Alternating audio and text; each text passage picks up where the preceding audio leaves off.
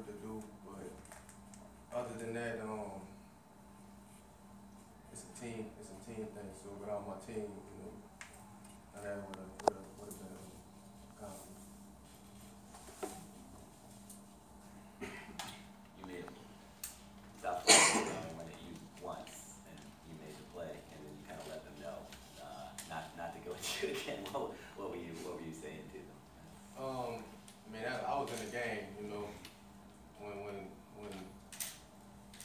opportunities like that come your way, you know, you have, you have to make plays, um, you know.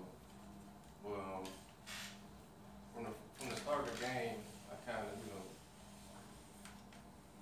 tried to set the tone, you know, and help my team in any way as possible. So, What do you think, what's been the key factor in getting you to where you are today as a player? Um, proper um, preparation, you know, it starts at practice.